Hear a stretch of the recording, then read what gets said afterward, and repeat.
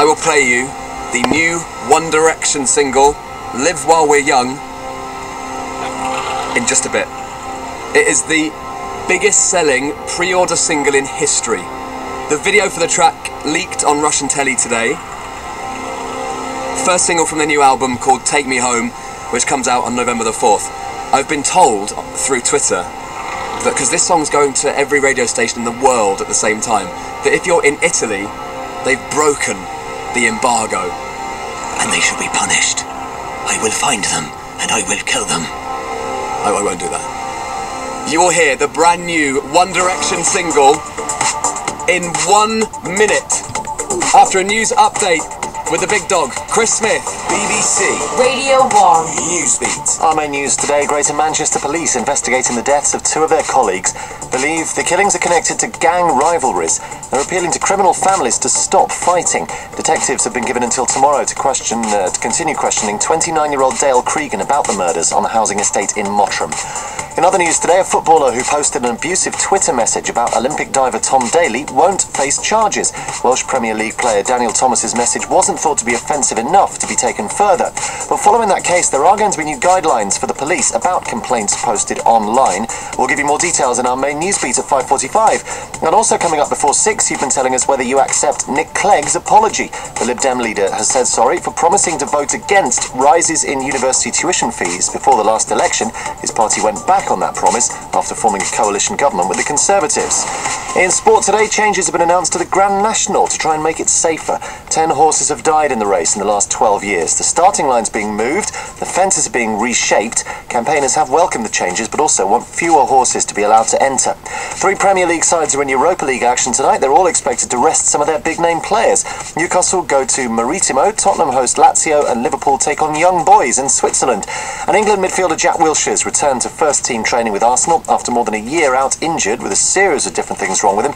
Boss Arsene Wenger says it is great news. More from us at 5.45. Okay, here we go then. Thank you, Chris. This is it. Five o'clock on Radio 1. It's Greg James, and this is the first play of the new One Direction single. Enjoy. Live while we're young. BBC Radio 1. Greg James. Hey girl, I'm waiting on you. I'm waiting on you. Come on and let me sneak you out and have a celebration. A celebration. The music up, the windows down.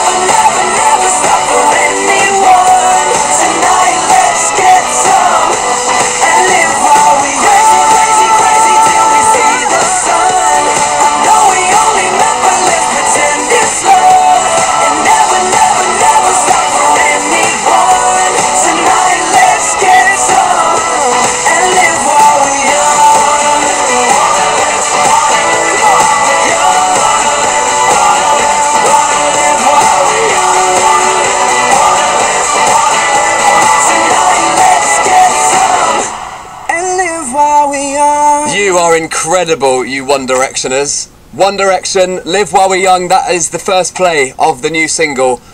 And it's on Radio 1, 5 past 5. You know what? Because I think you're the best, probably the best fans of any band in the world, I think you deserve to have it again, probably.